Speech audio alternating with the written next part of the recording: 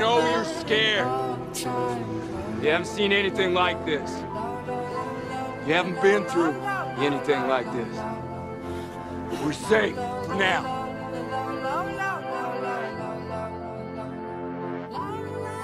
Try to hide, but